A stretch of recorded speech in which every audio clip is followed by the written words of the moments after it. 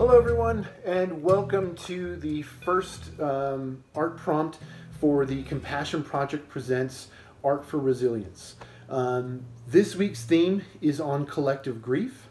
Um, and to that end, we're going to be making a drawing that's all about expressing our emotions through music and through drawing. Um, the idea this week is that by bottling up our emotions, we can actually be doing a lot of harm to ourselves and to each other. Uh, we might, you know, be prone to lashing out, and we might not be expressing those emotions in the right way. So, uh, the project this week is all about channeling those emotions and those those feelings of loss that we're all experiencing right now into something positive. Uh, and to that, I present uh, drawing your favorite song. The project this week is called Drawing Your Favorite Song. Uh, for this project, first pick out a song. Maybe the song is about how you're feeling right now. Maybe it's a song that reminds you of better times or is just a really good song. Then grab a wide variety of drawing materials from around the house, put on your favorite song, uh, either over speakers so that you and your friends and family uh, can enjoy the song together and draw alongside each other, or in headphones so that you can hear the song well. The fun part about this drawing is that it doesn't matter what you draw, just that while listening to the music, you are responding to the sounds uh, to let out what you're feeling with pens, pencils, and markers. For this project, it's good to have uh, a wide variety of materials around you. So I have some paper here that I'm going to be drawing on, but you can use copy paper, you could use a, a line notebook if you had it, um, legal pad, anything that kind of works to draw on.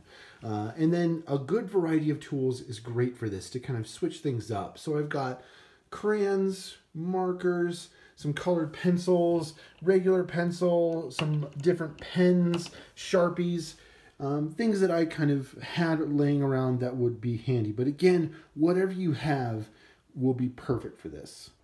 All right, so we've got all of our art materials picked out now, and we should have them laid out in front of us, kind of like this.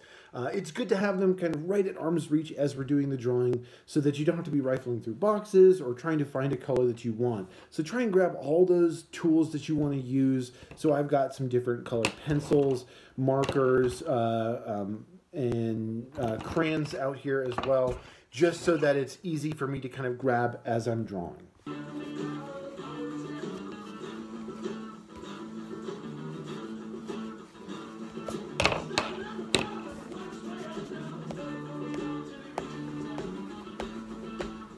Remember to pick out your favorite song, or maybe a song that shows how you're feeling. You can draw abstract shapes, swirls, letting your hand dance with the music across the page. Or you can have something more specific in mind and draw what the song makes you think of. You can even close your eyes, as it doesn't really matter what ends up being created, only that you allow your emotions to be part of that process. Just let yourself feel the music and remember why you love this song, and let that be the guide for your drawing. You can even use two hands to draw or your opposite drawing hand. All of these things make some surprising and unexpected marks on the paper.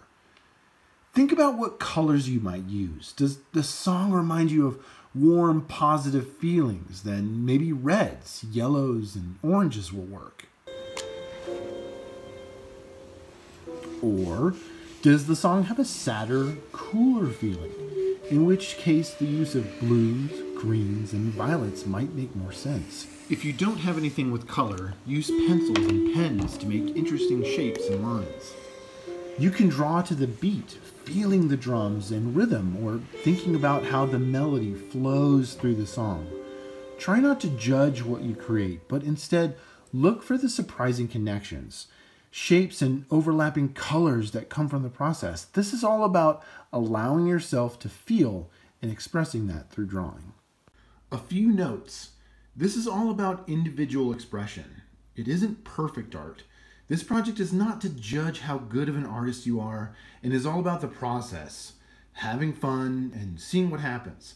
It might take a few tries to feel really comfortable with this exercise, so take a break if you need and come back to it later.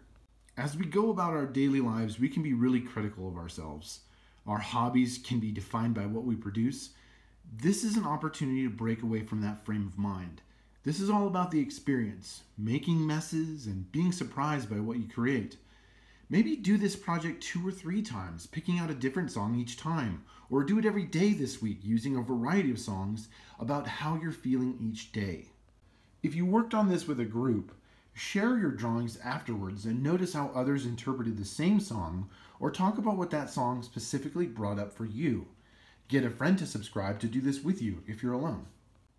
Here are my two drawings. I really love how even though they are just scribbles, I can understand the energy behind them. The first is much faster, meeting the tempo of the song, and feels more chaotic.